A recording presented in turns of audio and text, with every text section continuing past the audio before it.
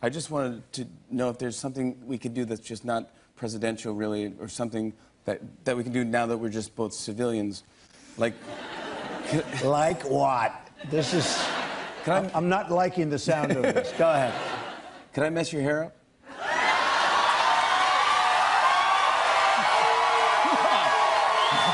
I'll be, I'll be gentle. I'll be gentle. as long.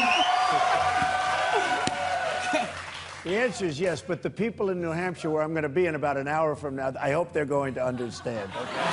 you say yes? Go ahead with my hairspray.